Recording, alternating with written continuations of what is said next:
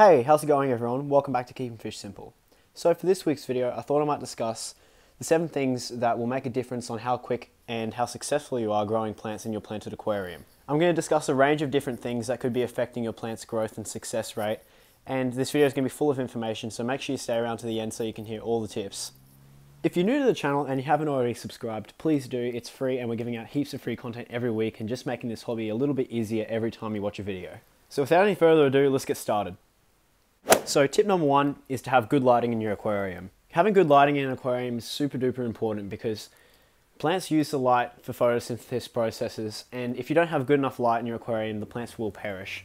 It's important that you have a light that's bright enough for the plants to receive the light and use it to grow. Plants in an aquarium photosynthesize for about 14 hours a day at max, so it's important that you also have the light on a timer so it can have uh, periods where it makes lots of energy during photosynthesis and periods where it can take a break and use the energy to grow.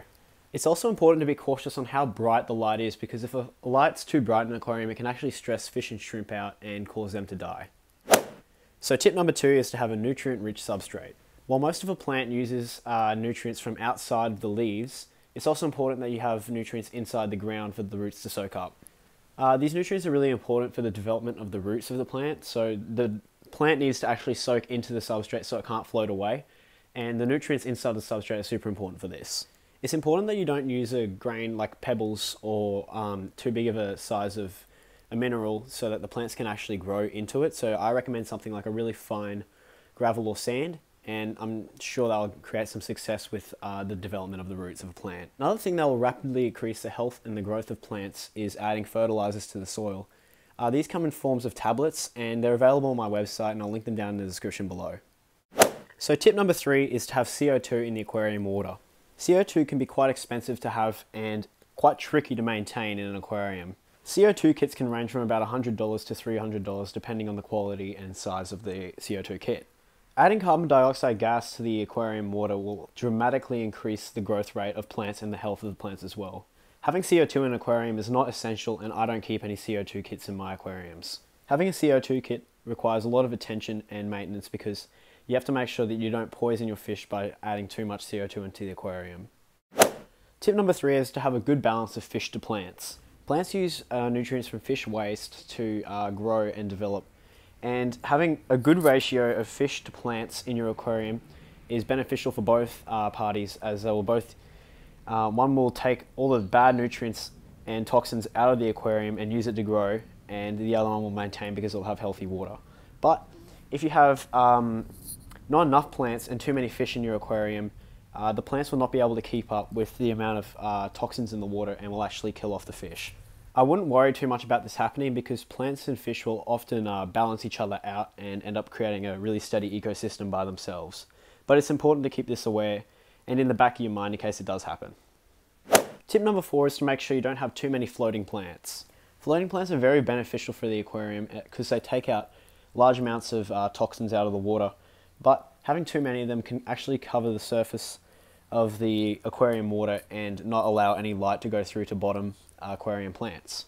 This will dramatically limit the growth of the plants in the substrate and can often kill them, so it's important to make sure that you don't have too many floating plants like duckweed or frogbit covering up the surface of your aquarium and limiting the light that can go through to the bottom plants.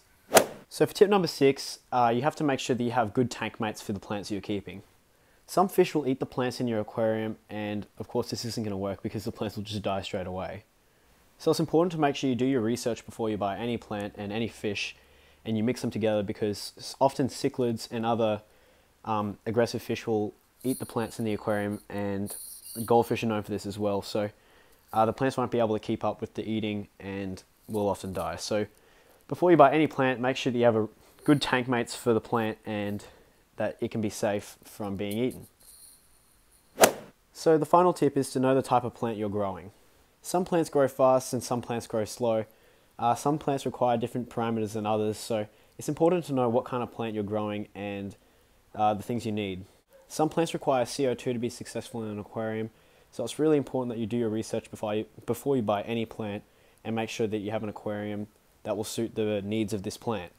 I recommend plants that grow pretty fast and are easily maintained for beginners. So like Uh, I have water wisteria and bacopa and java moss, and they're all perfect for beginner fish keepers. But if you're after something a little bit more risky and something a bit harder to take care of, I dec- definitely recommend stuff like uh, dwarf hairgrass and um, other carpeting plants because they're quite a challenge to take care of and they're also really rewarding.